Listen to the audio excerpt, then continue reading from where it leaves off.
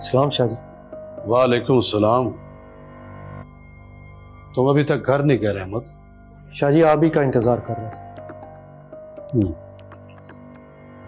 कैसी तबीयत है बाशी की? आशिक का बेहतर है जी।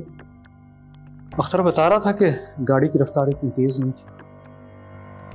वो महबूब की तरह महबूब साहब तो सुबह से ही हवेली में आए रहमत तुम्हें क्या लगता है कि इस हादसे के पीछे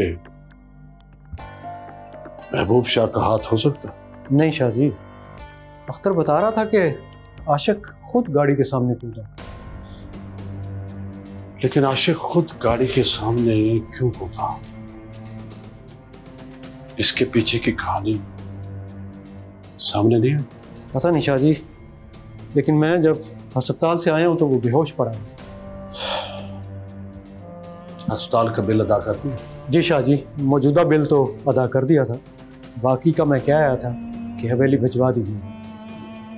बाबा कलंदर तो वो भी अदा नहीं करने दे रहे थे। अच्छा वो गाड़ी में कुछ सामान पड़ा है वो अशरफ को कह के घर रखवा। और तुम भी आप चले जाओ काफ़ी रात हो। गाड़ी ले जाना चाहते हो तो वो भी ले जाओ। ठीक है सर।